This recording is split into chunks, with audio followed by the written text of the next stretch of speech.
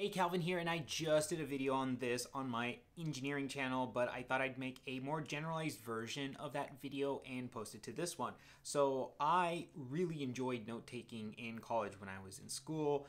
It was just one of the best parts about learning things. Obviously I'm kind of a nerd but I really like note-taking and I used to take all of my notes in color and specifically I used to take it on printer paper. So I would just have no lines, no grids. I would just take my colored pens, go to class, and on a blank sheet of paper start taking notes in color. And not only was taking notes in color a lot of fun for me personally, I think it also helped me improve a lot of my study routines and just being able to remember certain concepts and theories, especially when I look back on my notes for particular classes or subjects. So in this video, I wanna go over my experience of colored note takings and why I think if you are a student, you should be taking colored notes. I think it not only improves what you learn, but it also improves how you study and learn. Okay, so to start off, we need to talk about our brains. Our brains are very visual machines. So all day long, our brains are taking in a lot of information and a lot of that material is visual, whether that is reading a book or watching a video, listening to your lecture or your professor, intaking things from the whiteboard or the chalkboard, a lot of the stuff that our brains process is visual. Now, if you think about all the material that you look at and you watch and you read, so much of it is in black and white. And you'll notice that it is pretty hard to stay engaged with that material for a long period of time if things aren't in color. And I think it's obvious to say that color stimulates the mind and the brain a lot more effectively than just seeing things in black and white. So I want to pose an experiment to you. So if you are a student and you have notes that you've taken in class before and you have them handy, go back to your notes on certain subjects that you might have studied maybe a year or longer ago and try to read through your notes and try to understand that material to the same extent that you did when you first took those notes. Now, chances are, if those notes are in black and white, it's probably going to be a lot harder for you to remember exactly what those concepts and theories and everything was at the time of when you were taking those notes. Now, in order to improve recall and memory from notes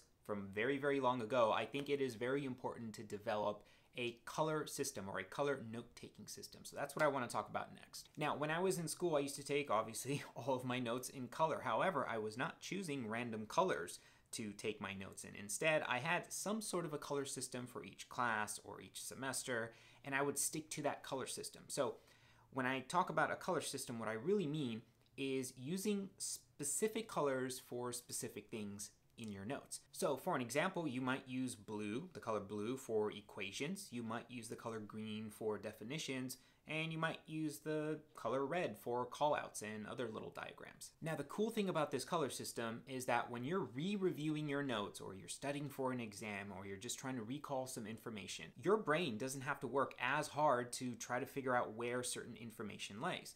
Instead, it knows that blue is for equations and red is for callouts. So if you're looking for an equation, really when you're scanning your note pages, you're only looking at the blue text and it just helps finding and, and organizing a lot of your information a lot easier and a lot more efficient. Now, speaking of efficiency, because I've taken a lot of my notes in color, I've noticed that a lot of my study sessions and times that I would have to review my notes for either projects or homework or upcoming exams those study sessions were a lot shorter and a lot more effective.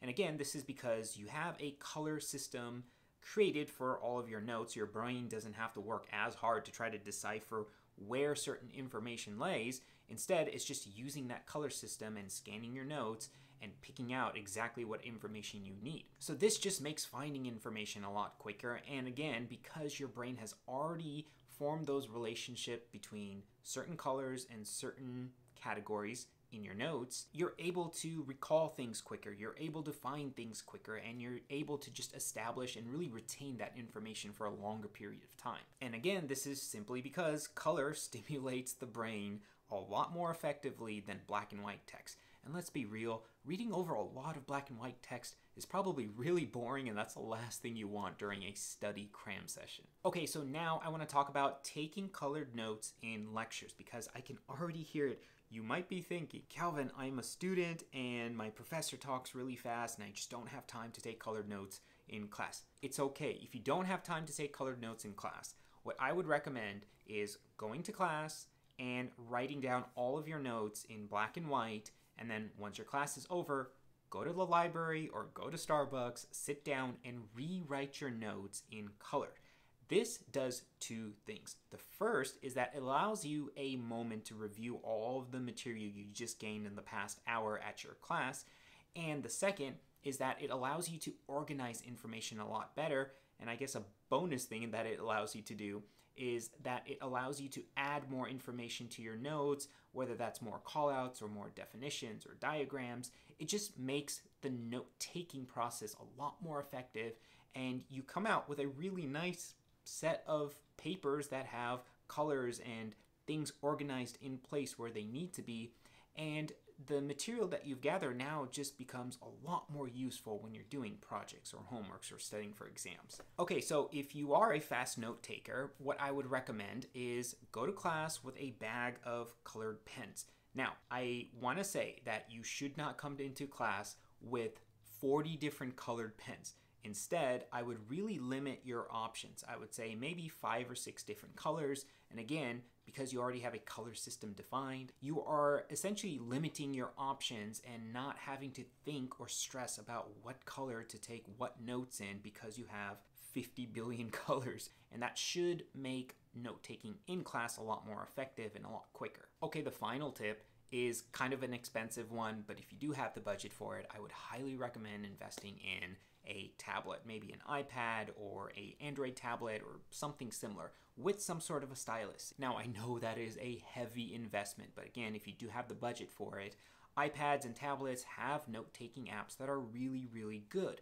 And the best part about those note taking apps is that it allows you to take notes in color and you can switch colors super, super fast, way quicker than switching to a physical pen and then having to switch colors all over again. Okay, so in conclusion, that is my video on taking colored notes. And again, the most important thing to remember is that our brains are visual machines. They process a ton of visual information. So anything that we can do in our study routines and note taking to make that process a lot more efficient and a lot more streamlined, your brain will thank you later, especially during those cram study sessions. So if you're watching this right before an exam, I hope your notes are in color, but if not, maybe the next class or next semester, uh, you'll be able to implement some of these tips and tricks and hopefully make just your learning process a lot more fun and engaging. Okay, and I'm to finish off with a very shameless plug.